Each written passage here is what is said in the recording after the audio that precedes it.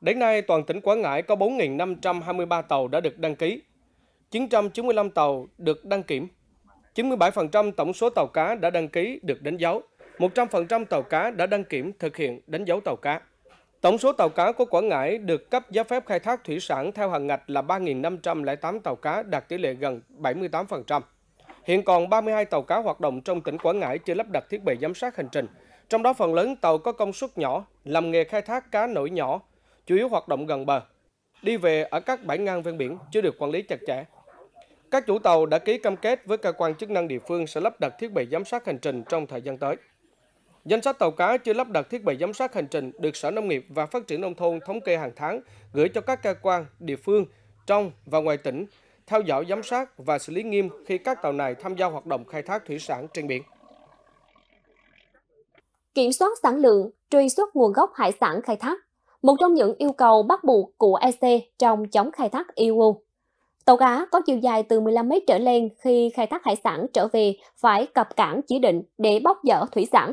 Tuy nhiên, thời gian qua vẫn xảy ra tình trạng tàu cá của ngư dân cố tình vi phạm, cập các bến cá tư nhân để bán hải sản.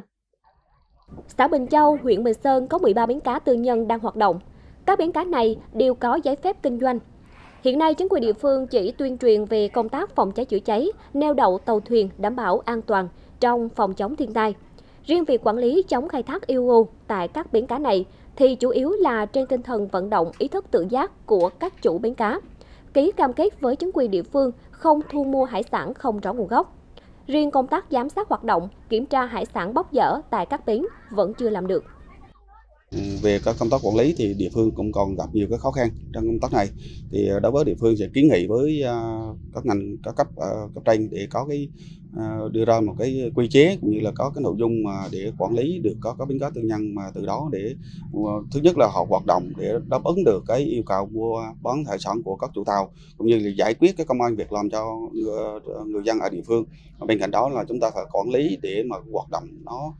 đi vào cái thiết thực hơn và nó đúng theo quy định hơn theo bà con ngư dân, nhiều chủ tàu không cập cảng cá chỉ định để bán hải sản theo quy định vì việc bán sản phẩm ở cảng cá tư nhân dễ dàng bất kể ngày hay đêm, không phải chờ đợi nên chất lượng hải sản khai thác đảm bảo, giá thành ổn định. Hơn nữa khi bán sản phẩm xong thì có thể mua trực tiếp nhiên liệu, đá để kịp cho chuyến biển mới. Trong khi đó, các cảng cá chỉ định thì không đáp ứng được các yêu cầu này. Thì nói chung là đã lâu quá, là xuống cấp trầm trạng. Rồi hơn nữa là coi như là nước sông còn. Tà tà thiện không thể là coi như lên trên cổng bón được. Cho nên là bây giờ cũng mong muốn là coi như là nhà nước là coi như là có, có đầu tư có, vô để làm là có, có cổng thì có thể nhân dân mới có thể là coi như khép phục rồi là mới lên đó là coi như để bóng có được. Tỉnh Quảng Ngãi có 5 cảng cá được Bộ Nông nghiệp và Phát triển Nông thôn chỉ định là cảng cá đủ điều kiện xác nhận nguồn gốc hải sản, gồm Tịnh Kỳ, Tịnh Hòa, Lý Sơn, Mỹ Á và Sa Huỳnh.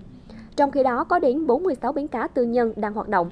Theo Chi cục Thủy sản tỉnh Quảng Ngãi, quy định của pháp luật hiện nay cũng chưa có chế tài xử lý đối với trường hợp chủ bến cá tư nhân vi phạm quy định tiếp nhận các tàu có chiều dài từ 15 mét trở lên cập bến để bóc dỡ thủy sản,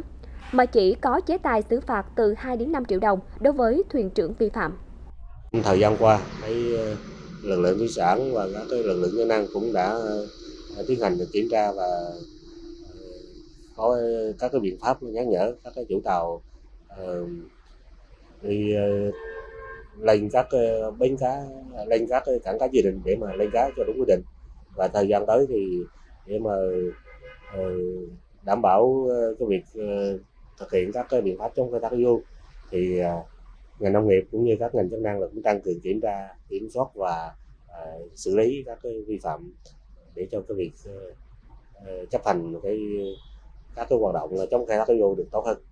Tàu cá có chiều dài từ 15 mét trở lên bán hải sản tại các bến cá tư nhân là vi phạm quy định chống khai thác IUU. Trên cơ sở quản lý thiết bị giám sát hành trình tàu cá, các lực lượng chức năng của tỉnh Quảng Ngãi sẽ kiểm tra, kiểm soát và xử lý nghiêm vi phạm.